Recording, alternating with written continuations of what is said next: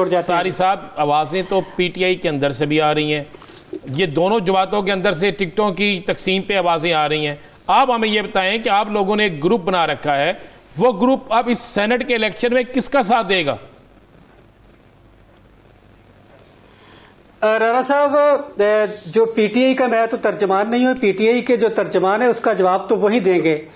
मैं तो चूँकि मुस्लिम लीग से एमपी हूँ मैं तो मुस्लिम लीग के हवाले से आप, बात करूँगा। आप मुस्लिम लीग के हवाले से तो आ जाए जो उम्मीदवार सामने आए हैं क्या आप इनमें से किसी उम्मीदवार को वोट देना पसंद करेंगे? सर मैं पहले अर्ज़ कर चुका हूँ कि इनकी क्रेडिबिलिटी के हवाले से जो इनके अपने बड़े चहेते लोग थे उन्होंने आवाज़ें बुलंद करना शुरू कर दी है कि पार्टी लीडरशिप ने जो है वो मेरिट पे टिकटें नहीं दी हैं। जो पार्टी के लिए या मुल्क के लिए काम करने वाले लोग थे, उनको इन्होंने यकसर नजरअंदाज कर दिया है। और पता नहीं कहाँ कहाँ से, किस तरह से ये उम्मीदवार ला के खड़े कर दिए, मुझे तो समझ नहीं आती। आप मियाँ शहबाज शरीफ की वो तकरीर उठा के देखे जो 2018 में जो उन्होंने सेनेट के लिए कैंडिडेट दिए थे। वो आप उनकी स्पीच सुने तो आपका सर, बल्कि बाहर मुस्लिम लीगी का सर जो है, वो शर्मिंदगी से झुक जाता है। वो जब उन्होंने कही कि फलाह बंदे को मैंने टिकट इसलिए दिया है कि मैं बाहर गया था तो ये मेरे लिए पाँच नान और छह कबाब लेके आए थे। तो मैंने खुश होके पाँच नान और छह कबाब पे टिकट दे दिया। फलाह जगह पर मैं गया तो मैं बड़ा थका हुआ था तो ये बंदा मेरे लिए चेयर लेके आ गया। तो मैं उस चेयर पे बैठ के मैंने दो गिलास पानी पी लिया। तो मैंने खुशी से उसको जो है ना वो टिकट दे दिया। तो ये तो मुगलिया दौर की सल्तनत की तरह शहबाज शरीफ साहब की तरफ़ सियासत पे तनकीद कर रहे हैं जबकि आपके करीबी साथी जो है निशाद खान डाहा साहब वो तो ये कहते हैं कि अगर पार्टी शहबाज शरीफ साहब लीड करें तो हमारा जो हल्का है वो साथ में हो जाएगा। अगर नवाज़ शरीफ साहब या मरियम बीबी करती हैं तो हम अलहदा रहेंगे। नहीं, अब तो यासिर साहब हालात खुल के सामने आ गए जी। अब एक लाइन ड्रा हो गई है कि आपने मुल्क और कौम के साथ खड़े होना है, इदारों के साथ खड़ा होना है, या उस क्यादत के साथ खड़ा होना है, जो सिर्फ़ और सिर्फ़ अपने मफादात के लिए चलती है, जो कारकुनों की कुर्बानियों को नहीं देखती, कारकुनों की वफाओं को नहीं देखती, वो सिर्फ़ अपने मफादात के लिए चलते हैं। तो कम अज कम अंसारी बरदरान, ऐसी किसी लीडरशिप के साथ एक लम्हे को के लिए भी चलने को तैयार नहीं है। जो सिर्फ़ अपने मफादात की तरफ़ देखते हैं और इस मुल्क को जो हमारे अबाव अजदाद ने बड़ी कुर्बानियों के बाद हासिल किया था उस मुल्क को अगर ये सल्तनत मुगलिया की तरह चलाएँगे तो हम ऐसी क्यादत के साथ बिल्कुल चलने को तैयार चले चले चले अंसारी साहब ये तो बता दें कितने आप लोग हैं जो अब इसको वोट नहीं देंगे जो मुस्लिम लीग ने बकौल आपके ये वो लोग हैं जिनका कोई मुस्तकबिल नहीं है या जो भी आपके इल्ज़ाम हैं इन पर तो कितने लोग हैं आपके साथ? आप वो छह सात लोग ही हैं, या इससे ज़्यादा की तादाद है जो इनके मुस्लिम लीग नून के उम्मीदवारों को वोट नहीं देगी। राणा साहब, मैं बात ये पहले भी करता रहा हूँ, अब भी कर रहा हूँ और मैं इस बात पे कायम हूँ। जो मुस्लिम लीग के अंदर बहुत सारे M P as M N A जो हैं, वो अब अपने अंदर ज़रूरत पैदा करके उठ खड़े हुए हैं। उन्हें पता चल गया है कि जब भी मुश्किल वक्त आता है, मियाँ नवाज़ शरीफ साहब जो हैं, वो कारकुनों को, पार्टी को, मुल्क और कौम को बेयारों मददगार छोड़ के भाग जाते हैं। और ये एक बार नहीं बार बार वो करते हैं। और मोमिन जो है वो एक सुराग से बार बार डसा नहीं जाता है। लीडरशिप तो जो है बबांगे दोहल ऐलान क्यों नहीं करते? अब आप सोलो फ़्लाइट तो लेंगे नहीं या तो फिर ये ऐलान करें कि हम अलग से पार्टी तश्कील दे रहे हैं या फिर ये ऐलान करें कि हम किसी पार्टी के साथ इलाहाक कर रहे हैं यानी हम अपना वोट पाकिस्तान तहरीक इंसाफ को दे रहे हैं। कोई एक बबांगे दोहल ऐलान तो करें ना ताकि अवाम को भी इस बात का अंदाज़ा हो कि आप कहाँ पे खड़े हैं। यासर साहब ये ऐलान हम पूरी ज़रूरत और कुत के साथ और अकल और शौर के साथ कर चुके हैं और बार बार कर रहे हैं। चंद दिन पहले की बात है कि मेरे ही बड़े भाई चौधरी मोहम्मद यूनस अंसारी ने यह कहा था कि मरियम नवाज़ जो है, ये चूँकि इदारों के खिलाफ हर्जा सराई करती है, ये इंतशार की सियासत करती है, ये मुल्क का अमनो अमान जो है उसको तबाह करने पे तुली हुई है तो हमने ये नहीं देखना कि हम किस पार्टी से एमपीए इलेक्ट हुए थे? हमने मुल्क और कौम की सियासत करनी है वतन अज़ीज़ के दफ़ा की सियासत करनी है।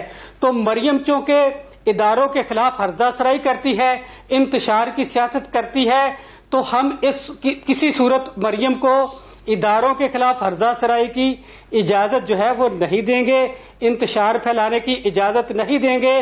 तो यही वजह थी कि मेरे बरदर अकबर हाजी चौधरी मोहम्मद यूनिस अंसारी ने ऐलान किया कि हम मरियम को जो है वो वजीराबाद जो रैली के लिए जा रही हैं हम गुजरावाला से नहीं गुजरने देंगे। तो फिर हालात ने देखा कि पूरी इंतजामिया आ गई कि आप मरियम को यहाँ से क्यों गुजरना नहीं दे रहे। हमने कहा जी यहाँ से गुजरना हर शहरी का हक है, लेकिन अगर वो पूरा अमन तरीके से गुजरे तो। लेकिन अगर वो इदारों के खिलाफ हर्जा सराई करेगी, इदारों के खिलाफ जहर उगलेगी, इंतशार फैलाने की कोशिश करेगी तो फिर अंसारी बरादरान उनके सामने सीसा पिलाई, दीवार बन जाएगी। फिर राणा साहब सारी चले वो तो कल कल लेकिन कल कल कल हमारे कल एक क्लिप एक क्लिप चल रहा है। एक क्लिप चल रहा है सोशल मीडिया पे जिसपे आपके मुतालक बड़े नाजेबा अल्फाज आपकी बरादरी के मुतालक कैप्टन सफदा ने अदा किए हैं। चले आप उसको जवाब दे। हम जरा थोड़ी सी अशरफ सारी सब आगे चलते हैं ना। ठीक हो गया आप मुस्लिम लीग नून के उम्मीदवार को वोट नहीं दे रहे मैं, मैं, मैं, ये, जवाब दे लू।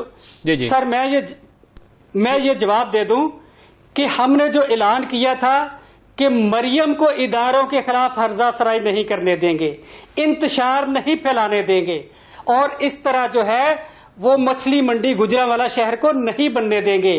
तो फिर इंतजामिया ने हमारे साथ जो है, वो कमिटमेंट की और आप देखें कि गुजरावाला के वो लोग, जो बड़े मुस्लिम लीगी होने का दावा करते थे, जो मियाँ नवाज़ शरीफ पर जान निछावर करने का दावा करते थे, जो अठारह अठारह नान खा के और 36 पाए खा के डकार नहीं मारते थे। आपने देखा कि उनमें से कोई भी मरियम के इस्तकबाल के लिए चले आपका आप, आप, आपका जवाब आ गया अंसारी साहब। आप मुस्लिम लीग नून को वोट नहीं दे रहे। तादाद आप कह रहे हैं खुल के सामने आ जाएगी। सेनेट के इलेक्शन से पहले ऐलान कर देंगे। इनशाला अल्लाह ताला के फजल करम से जैसे ही हमारी आला अदलिया जो है वो अपना फैसला देती है चूँकि मामला सब जूडस है।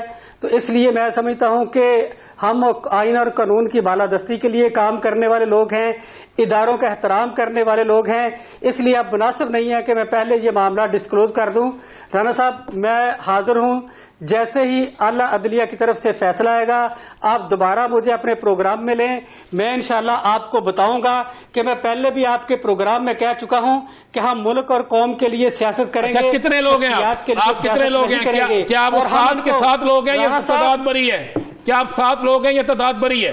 राणा साहब राणा साहब जब बंदा हक और सच के लिए चलता है तो फिर लोग कारवा में शामिल होते हैं। अब मुल्क के लिए लोग इस कारवा में शामिल हो अच्छा, चुके हैं। साहब आप तो क्या समझते हैं? आप आप पाकिस्तान तहरीक इंसाफ में आपसे बात करूँ तो आप ये कहते हैं ये सरप्राइज़ आप ये कहते हैं कि मैं उनकी पार्टी का नहीं हूँ, इसलिए मैं बात नहीं कर सकता। तो बतौर सियासी रहनुमा या सियासी वर्कर आप क्या समझते हैं? पीटीआई के जो नाराज़ अरकान थे, उन्हें तो मना लिया गया। आपकी पार्टी आपको फसली बटेरे कहती है। आपको ये कहती है कि आपने अपनी जो ख्वाहिशात थी, वो मार डाली। अपने जो तहफात थे, वो दूसरों के सामने जाके बयान किए। तो आप अपनी पार्टी के बारे में क्या राय रखते हैं कि नाराज़ अरकान को मनाने में वो नाकाम रही या आप ही मानना नहीं चाहते थे? जैसे साहब, ये बड़ी सीधी सीधी बात है, ये एक फितरी असूल है कि जब नसीब अच्छे होते हैं ना तो फिर बंदा अकलो शौर से काम लेता है और सही और दुरुस्त फैसले करता है। जब नसीब की हार होती है, जब बंदा अल्लाह की पकड़ में होता है ना तो वो कहते हैं कि अल्लाह डांग से नहीं मारता अल्लाह मत मार देता है। तो जब अल्लाह शौर सलब कर लेता है किसी की मत मार देता है तो फिर वो गलत फैसले सही समझ के करता है। अब पीटीआई की आपने बात की अल्लाह ने उनको अकलो शौर दिया है उनको पता था कि साथी जो हैं वो सरमाया होते हैं। उन्होंने अच्छा, जैसे भी किया उन्होंने अपने साथियों को राज़ी किया है। उन्होंने मनाया है। लेकिन मुस्लिम लीग की कहा है कि हमने सरप्राइज़ देना है। तो सरप्राइज़ में इसका मतलब है मुस्लिम लीग नून को ये एक सीट जो है वो लूज करेगी। एक नहीं कई सीटें लूज करेंगी। जो इनकी हिकमत अमली है इन्होंने अपने अच्छे साथियों को राज़ी करने की बजाय उनके तहफात दूर करने की बजाय उनके साथ महाज अराई की है। चैलेंज तो हमने मरियम को किया था। मरियम के अंदर ज़रूरत थी इखलाकी ज़रूरत थी तो फिर वो यहाँ पर निकल के जो इनके यानी आला अदलिया के जो फैसला पेंडिंग है वो सामने आने के बाद आप ये फैसला करेंगे कि किस तरफ़ आपका झुकाव तो होगा और आप ये समझ पाकिस्तान मुस्लिम लीग नून को सेनेट इलेक्शन में एक सीट नहीं बल्कि ज़्यादा सीटें गंवानी पड़ सकती हैं।